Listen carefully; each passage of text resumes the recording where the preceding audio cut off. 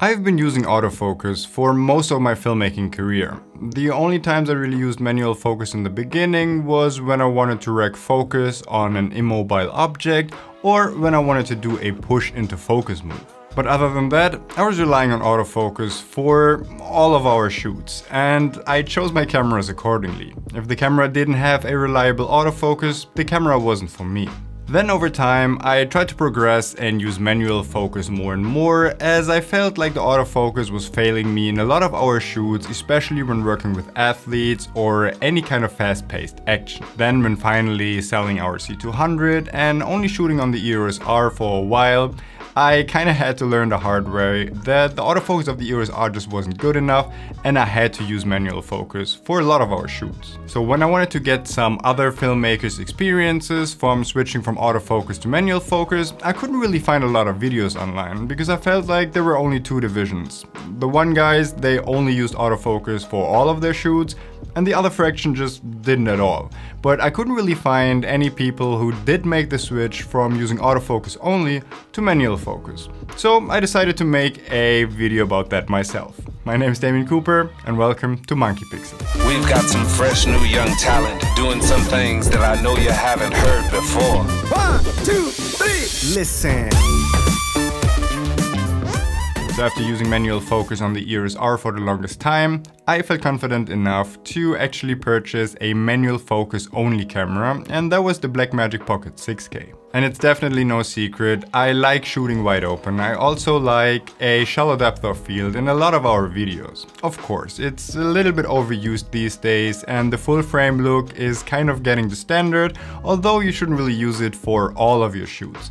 But still, having this really nice creamy bokeh is something that I missed when shooting on the Blackmagic in the first place because A, it has a smaller sensor than a full frame and I kinda had to stop down to an aperture of 4.0 a lot of the times to get everything in focus. So I kinda wanted to challenge myself to pull focus completely wide open at an aperture of 1.4 to a maximum of 2.0 for an entire shoot and see if I could actually pull focus like that. And that's what I did. The only EF lens we currently have that is really wide open since we sold most of our prime lenses and went to an RF mount, which in hindsight was a pretty dumb idea.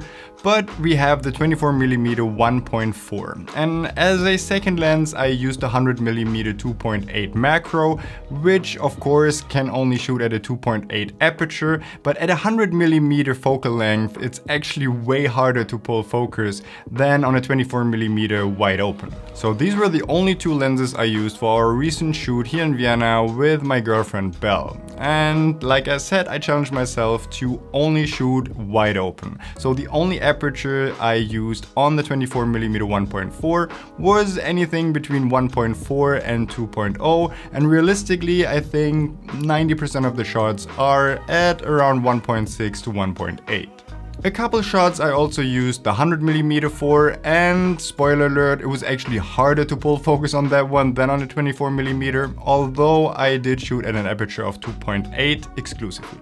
So my first tip is really obvious, but it's definitely the best tip that I can give you, and that is practice as much as you can. In the beginning when I got the Blackmagic, I just took the camera and I basically just tried to focus on my girlfriend whenever she was just walking around the apartment, or if you have pets or children, just take your camera and just try to keep them in focus while they're just moving around the apartment. Another cool practice that I found online is when a lot of the guys of the NFL Films department try to improve their manual focusing, they use tire swings. Meaning they just tie a tire to a rope and swing it back and forth and just try to keep the swing in focus all of the time. Back and forth, back and forth to be able to react to the movement as fast as possible. And the next thing I found that was really valuable to me was to try and not to overshoot your focus. So when trying to focus on a person's face, for example, and all of a sudden you just overthrown the focus and you're behind that, that looks really unprofessional and really doesn't give a good look to it. It's way easier on the eye if everything is a little bit out of focus coming from your end of things and then slowly easing into the shot rather than really overthrowing and then trying to come back into focus when you miss the focus by a little bit. Another thing that goes hand in hand with what I said before is make as little movements as needed and try to limit your movement of the focus ring, especially when using still lenses, because still lenses are designed for having a really fast autofocus, so the focus throw on your still lens isn't as big as on a cinema lens, and just pulling the focus wheel a little bit really goes a long way. And lastly, here's how I actually do it. And I already talked about this in my video about improving your handheld shots, as well as my Blackmagic Pocket 6K rig video. But if you haven't seen either of those, here is my technique that I actually use to pull focus while shooting handheld. 90% of the times I'm holding the camera with my right hand on the top handle. The other 10% I'm just using the side grip. My left hand is 100% of the times under my lens and therefore I can use my thumb as well as my index finger to pull focus. And since I have the weight of the camera and the lens laying on my palm and I only need really little movements as I'm only using still lenses, I don't really introduce a lot of camera shake into this either because as I already said, you only need really little movement and you don't really have to yank the camera from left to right to pull focus and just a little bit of tiny movement goes a long way here. Yes, of course you can use a follow focus, but for the kind of rig that I'm using, I don't think that's optimal because as I've already said, I have a lot of the weight lying on my left hand in the palm of my hand. And having a follow focus, I would actually have to go away from that and therefore have most of the weight on my right hand. And I feel like this would introduce a lot of camera shake and I wouldn't be as stable as I would be when having two points of contact kind of distributed equally. But if you do want to see some setups where I will be using a wireless follow focus and even trying to pull focus over a wireless HDMI system, we do have a couple cool videos coming up in the future, so make sure to subscribe. So here's my takeaway of that challenge. Before I was only able to shoot at a wide aperture like 1.4 or 1.6 on the Canon C200 because of its amazing dual pixel autofocus and I was always really afraid of steering away from the Canon C200 because I was missing the autofocus then. But in hindsight, I was really surprised on that shoot and basically all other shoots I did before, how easy it was and how quick my learning curve was when switching from autofocus to manual focus. And even though you might not have taken away too much on the valuable side from my tips and tricks on this video, the one thing you can definitely take away from it is that I want you to encourage to shoot more manually because you have way more control over your focus and most of the time times it looks a little bit more organic and you don't really have to rely on the autofocus of your camera.